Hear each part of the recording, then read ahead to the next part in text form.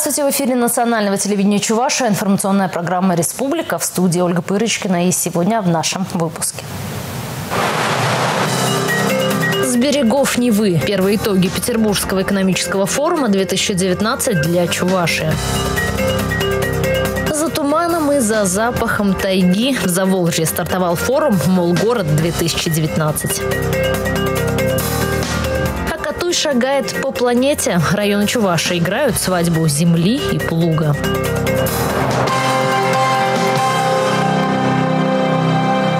Шестьсот пятьдесят соглашений, крупные сделки на 3 триллиона рублей. Таковы предварительные итоги Санкт-Петербургского экономического форума. Среди ключевых тем его деловой повестки – инвестиционный и инновационный потенциал регионов. Тему продолжит Дмитрий Ковалев. Друзья, берите,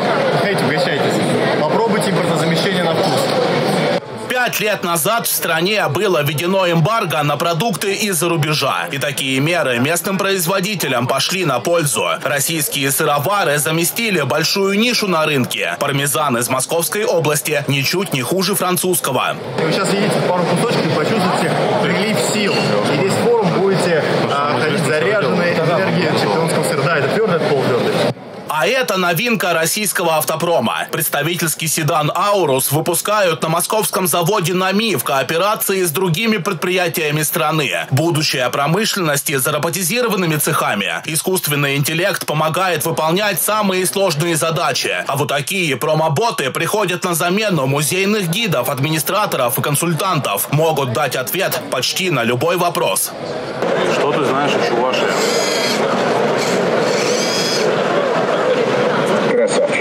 Знаю то, что нужно знать. К выставке инноваций большой интерес проявляют зарубежные гости. Российские предприятия, вопреки санкциям, увеличивают объемы экспортных поставок. Ключевым торговым партнером Чувашской республики выступает Сербия. Очень хорошие перспективы сотрудничества с Сербией и Россией в области инноваций и цифровизации, а в том числе надо отметить Чувашию как регион, который имеет лучшие электротехники не только в России, но в всем СНГ и одни из лучших в Европе. На форуме дали старт и крупному инвестиционному проекту. На Химпроме в ближайшие годы наладят выпуск пероксида водорода. Сегодня подписали кредитный договор с Европейским банком э, развития э, по финансированию проекта «Перекись». Э, это большой проект, который позволит фактически удвоить выпуск продукции химпрома и удвоить его прибыль. Сейчас новый тренд в мире – это зеленая химия, уход от хлорной. В пищевой промышленности сейчас планируется использование перекиси для дезинфекции тары. Бизнес должен включиться в работу по реализации национальных проектов. Такую задачу властям регионов поставили в правительстве страны. Первые итоги майского указа президента также обсудили на форуме. Но сегодня, мне кажется, пригласили и регионы. Сегодня важно все-таки вовлечь региональные власти. Поставлено тоже целевой ориентир для субъектов Российской Федерации. Что для этого нужно? То же самое принять свои национальные проекты, региональные и э, принять, соответственно, создать условия для того, чтобы э, экономика, предприниматели почувствовали изменения. Лучше работать наши институты должны и э, контролирующие органы. Чтобы реализовать национальные проекты, в республике привлекут порядка 77 миллиардов рублей. Почти половина из этой суммы – инвестиции бизнеса. Еще одна важная задача – реформа обращения с отходами. Глава региона отметил, что в ближайшие годы рекультивируют еще четыре закрытые свалки. В муниципалитетах возведут станции по перегрузке мусора. Полигон, который мы сделали по всем э, нормативам санпин-требований предохранной прокуратуры, она работает практически на 50 лет. Гарантия, что твердые коммунальные отходы со всей территории республики будут вывозиться туда и храниться будут там. Понимание было у всех органов государственной власти, органов местного самоуправления и всех тех общественников. Мы ответственно работали и будем работать. И то поручение, которое президент сделал, свое волевое ответственное решение, я благодарен от жителей Чувашской республики. Отдельные вопросы сейчас сняты. На полях форума Михаил Игнатьев провел ряд переговоров с председателем председателем Совета директоров «Газпрома» глава региона обсудил платежную дисциплину потребителей голубого топлива. С президентом организации «Деловая Россия» меры поддержки бизнеса. С руководителем Волга-Вятского банка дальнейшую реализацию программы предоставления финансовых услуг в электронной форме. В деловой программе и рабочие встречи с губернаторами субъектов. Дмитрий Ковалев и Андрей Спиридонов, Республика из Санкт-Петербурга. Дни малого и среднего предпринимательства с начала года прошли уже в 11 городах и районах республики. В этот раз за круглым столом собрались бизнесмены Мариинско-Посадского района, работающие в разных сферах. На встрече обсудили вопросы, связанные с кредитованием и налогообложением. Специалисты провели консультации для желающих начать собственное дело. Подробности в нашем сюжете. День предпринимательства проходит в Мариинском посаде. И, конечно, главный предприниматель этого города – купец Коротков. Дом, в котором он жил, служит теперь музеем. Дом-музей купца Петра Короткова – знаковое место в городе. Его судьба – другим наука. Миллионер, успешный лесопромышленник, он жил в 18 веке. Развивал старинный Волжский город, слыл меценатом. Нынешние предприниматели работают в самых востребованных сферах. Общие проблемы – нехватка квалифицированных кадров, высокие кредитные ставки, налоги. Анатолий Афанасьев – предприниматель со стажем. Перевозками пассажиров в Мариинско-Посадском районе занимается с 2005 года. По диктованию у меня есть вопрос был максимальная сумма кредита, это сейчас э, малого среднего, агентство малого и среднего бизнеса дает он до 5 миллионов. Но увеличение этого максимальной суммы до 10 миллионов, потому что техника, которая сейчас продается, она дорожает. Без кредитов трудно развивать собственное дело. Предложения предпринимателя обещали рассмотреть в профильном ведомстве. Вообще в сфере бизнеса законы меняются так часто, что за ними сложно уследить. Мы а, всем представляем необходимую актуальную информацию, то есть чем мы можем помочь а, предпринимательству. Это, поэтому мы приглашаем а, принять участие и всю инфраструктуру поддержки малого и среднего предпринимательства, все институты. Это и финансовые, консультационные и так далее. Вот. То есть мы непосредственно на местах уже находим решение актуальной проблемы ну, определенного предпринимателя. Есть в Марпасаде и женский бизнес. Оксана Александрова 9 лет продвигает парикмахерское дело. Я полезно узнала, но как бы о государственной поддержке, о небольших процентах кредитования. Недостаток информации очень большой у людей. То есть очень много не знают. Наверное, настолько погрузились в свой бизнес, что некогда искать информацию, а она постоянно, э, а мы постоянно в ней нуждаемся. Предприниматель из Чебоксар Алексей Трофимов тоже развивает свой бизнес в Мариинском посаде. Он занимается производством корпусной мебели и довольно успешно. В 2008 году купил заброшенное помещение производственной базы и полностью его восстановил. Мы делаем сейчас, можно сказать, с уверенностью элитной кухни. 70% а нашей продукции отправляется в город Москва, ну и процентов 30 здесь, в городе Чебоксар и в ближайших регионах мы реализуем. А, средний чек, наверное, по кухне это порядка 300 тысяч рублей. А, делаем кухни из дерева, из массива дерева. Полностью выпускаем сами, производим фасады мебельные, сами их красим. Ну и у таких успешных бизнесменов есть проблемы. Алексею Трофимову не хватает на предприятии квалифицированных кадров. Специалистов по деревообработке найти непросто. Возможно, при помощи Минека надо организовать специализированные курсы. Следующая встреча с бизнес-сообществом пройдет в Аликовском районе. Ольга Алексеева, Борис Андреев, Республика. Изменение тарифов на коммунальные услуги обсудили на еженедельном совещании главы Чувашии с правительством республики не берется. В связи с повышением ставки НДС в России утвержден двухэтапный рост платы за коммунальные услуги. Для Чувашии индексы установлены в размере 1,7% с января и 2% с июля. Предельно допустимое отклонение 0 и 2% соответственно. То есть июльское повышение должно быть не выше 4%. По 253 муниципальным образованиям э, рост произойдет с 1 июля до 2%, по 36 муниципальным образованиям в рамках 4%, по 7 муниципальным образованиям в соответствии с законодательством по обращению представительных органах местного самоуправления а, индекс превысит обозначенные 4% от 10,7 до 25%.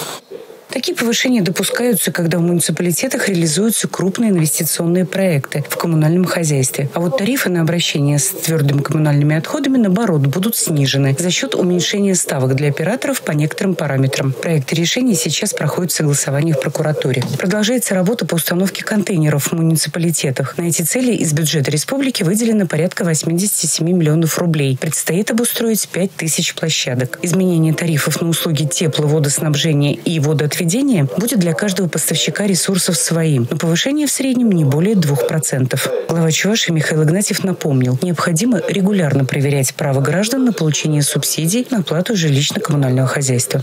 Льготы э, получили 309 тысяч жителей Чувашской республики на сумму 728 миллионов рублей. То, что есть заявительный принцип перед работниками э, министерства поставлена задача переходить э, в течение года на выявительный принцип для того, чтобы все желающие могли вовремя получить меры государственной поддержки. Елена Гальперина, Бахтияр Велиев, Республика.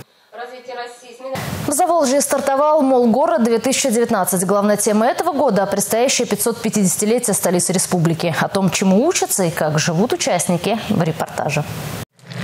Добавляем воду, еще одну порцию. Еще, да? Нет, все. У студентов из Узбекистана на видеосвязи родня. Консультируют по поводу плова. Сегодня на обед у нескольких палаток национальное блюдо. В соседних котлах более привычные для походных условий суп и гречка с тушенкой. Такого рода романтика – одна из традиционных составляющих форума «Молгород». Сами все готовим на кострах, ходим за дровами, ходим за водой. Все ребята дружные, все друг другу помогают. В общей сложности шесть насыщенных дней. Так как первый раз хочется получить очень много опыта от всяких мастер-классов, знания какие-то новые, ну и развлечения, конечно же. За развлечениями дело не станет. Во второй половине дня дискотеки, концерты, мастер-классы. К примеру, от кинологической службы.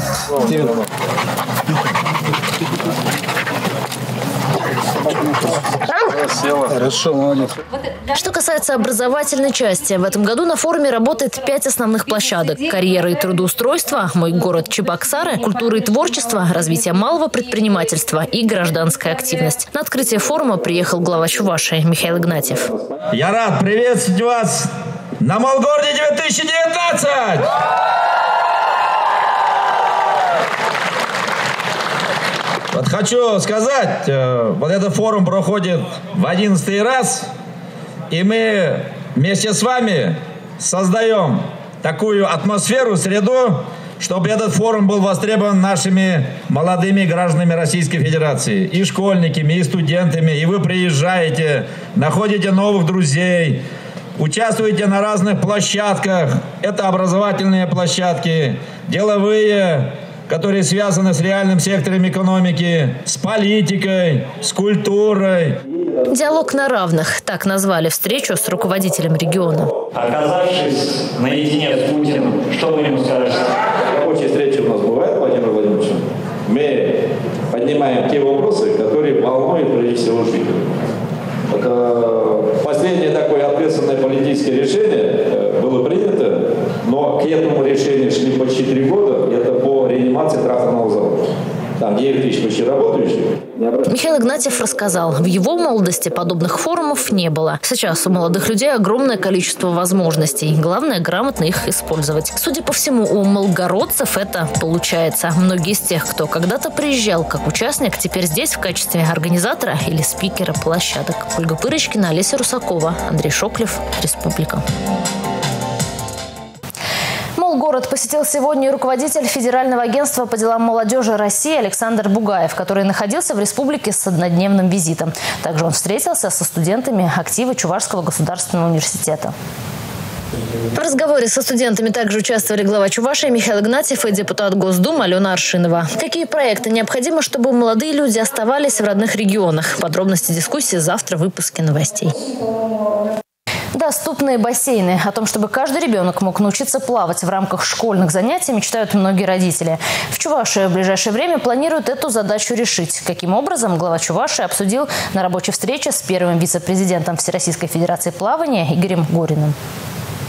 Чувашия станет одним из пилотных регионов, где будет реализовываться программа «Плавание для всех» в рамках национального проекта образования. Что это означает? Бассейны должны стать более доступными. Их планируют оборудовать при медицинских учреждениях, при школах, на предприятиях. Эта задача возложена на региональное министерство физической культуры и спорта, Министерство образования и муниципалитеты.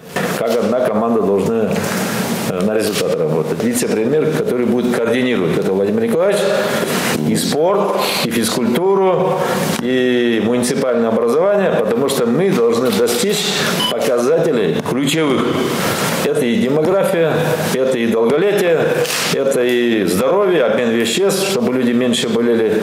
И главный смысл всех тех мероприятий, которые запущены, в этом и заключается. Отдельная подпрограмма рассчитана для начальной школы «Всеобуч по плаванию в Российской Федерации». В ее рамках дети, начиная с 7-8 лет, будут учиться плавать во время школьных занятий физкультурой. Помимо хорошего самочувствия, системные занятия плаванием в школах помогут выявить и отобрать перспективных детей для большого спорта. Первый вице-президент Всероссийской Федерации плавания Игорь Горин – один из инициаторов реализации программы и работает над ее распространением в регионах. Голодец, видите, отметил на форуме, что плавание становится самым популярным видом спорта среди детей.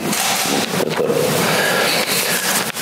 ну, как вы отметили, я посмотрю, у вас региональная газета, Сейчас необходимо сосредоточить усилия на качественном выполнении предусмотренных мероприятий. В рамках реализации проекта «Всеобуч по плаванию» необходимо обеспечить школы материально-технической базой и инструкторами. Это серьезная задача, которая будет решаться поэтапно. Правильно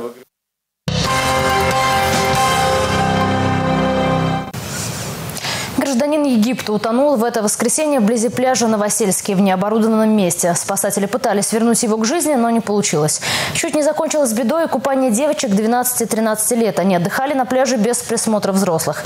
О безопасности на воде говорили на еженедельной планерке в городской администрации. Обсудили и другие вопросы. Одной из главных тем стала реализация проекта «Безопасные качественные дороги».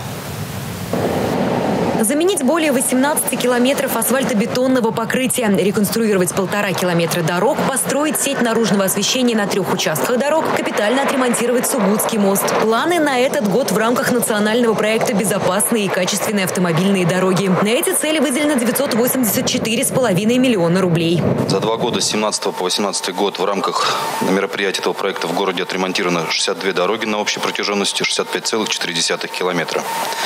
В 2019 году город Чебоксары продолжит участие в новом национальном проекте «Безопасные и качественные автомобильные дороги». В текущем году по условиям нацпроекта разрешается включить состав работ объекты капитального строительства, ремонт тротуаров, нанесение дорожной разметки. По четырем объектам завершены аукционы. Известные исполнители. Сроки окончания работ преимущественно 15 июля. Крупные объекты будут отремонтированы поэтапно до 2020 года. Юлия Важенина, Алина Сусметова, Бахтияр Велиев. Республика. Пресс-служба управления ФСБ России по Чувашии сообщает, оперативный штаб проводит антитеррористическое учение, в котором задействованы силы и средства группировки штаба.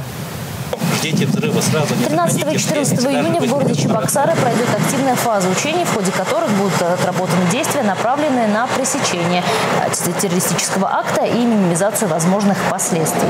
Оперативный штаб обращается к населению с просьбой сохранять спокойствие, соблюдать меры личной безопасности и не препятствовать деятельности правоохранительных органов и специальных служб.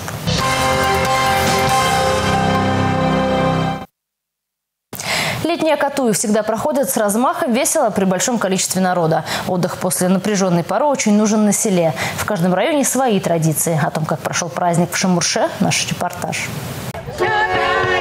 Так сложилось веками, чтобы в каждом районе есть свое излюбленное место для гуляний. Большое широкое поле, где бы уместились одновременно люди со всей округи. Спортивные площадки, детские городки и даже целая деревенская улица с гостевыми двориками. С раннего утра на ипподроме круговорот людей. На праздник шли семьями, фольклорными коллективами, селами и деревнями. Многоголосое пение, звук музыкальных инструментов, яркие народные костюмы, непременные атрибуты любого акатуя.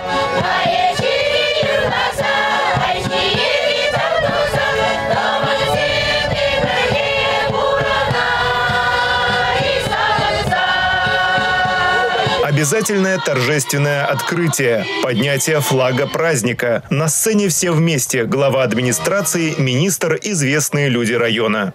Труд крестьянина всегда был нелегким, но одновременно самым почетным и благородным. Ведь от него напрямую зависит самочувствие общества, каждой семьи и каждого конкретного человека. В экономике района агропромышленный комплекс занимает особое место. Благодаря эффективной государственной поддержке и трудолюбию наших тружеников аграрный сектор динамично развивается, с каждым годом улучшая показатели. За текущую посевную кампанию посеяно 10 320 гектаров зерновых и зерновых культур. Отрадно, что сельхозтоваропроизводители начали делать акцент на выращивание высокодоходных культур. Не менее важным направлением работы остается развитие животноводства. Самое благоустроенное поселение – самая ухоженная улица. Победители этих конкурсов с удовольствием выходили на сцену. На празднике чествовали тружеников, чей вклад оказался самым весомым. Почетным гражданином Шамуршинского района стал Михаил Захаров. Отметили труд и других сельчан. Посевную в этом году завершил замечательно в свое время освоил новые территории. В итоге у меня э, около 700 э, залежных земель. Все это мы освоили. Вот, зерновые до 500 довел, но остальные постепенно оккультуриваем. Вот, э, многолетние травы и многие другие.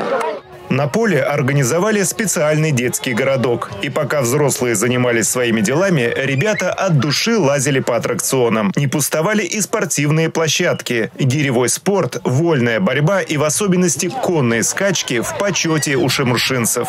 Я считаю, что это самый безопасный спорт, которым можно заниматься. Здесь не такие серьезные травмы есть, как в футболе или на борьбе и баскетболе. То есть ты серьезно так намерен заниматься, да? Да. Президентом страны четкие задачи поставлены, 55%. Мы не говорим 55, мы говорим 60-70% населения, чтобы занималось физкультурой и спортом.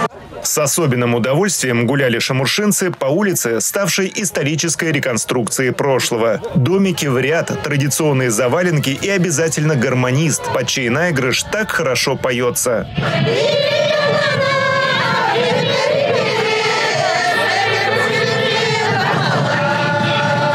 Колоритно выглядела пасечница, с удовольствием угощавшая медом проходящих мимо. Во всем своем многообразии были представлены народные ремесла. В калейдоскопе праздника «Отдых по душе» нашли все, кто любит свою малую родину, кто гордится ею, кто вкладывает силы в ее развитие. Время получается медали. 6 июня в Чебоксарах в физкультурно-оздоровительном комплексе «Спартак» подвели итоги зональных соревнований летней спартакиады среди работников группы компаний «Газпром Межрегионгаз» Приволжского федерального округа.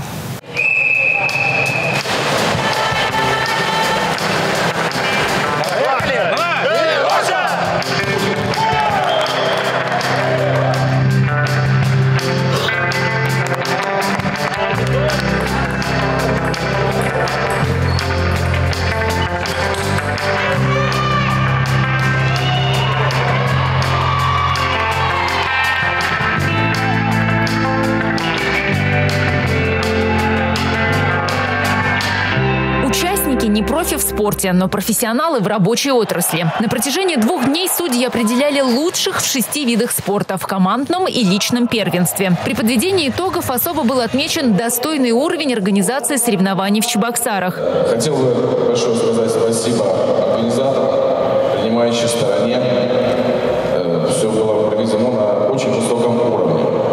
Э, Небольшой вопрос хочу, наверное, к футболистам. Все знают, кто стал чемпионом России по футболу в этом году? Ну, кто? Кто, кто? Позовите. «Зенит», молодцы. Кто является спонсором команды «Зенит»? В том числе и «Газпром Межрегионгаз».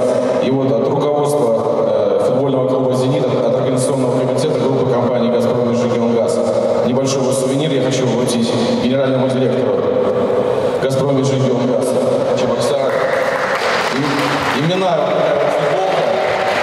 В спорте всегда кто-то сильнее и быстрее. Так, в командном зачете по гиревому спорту кировчане показали лучший результат. «Газпром Межрегионгаз Киров».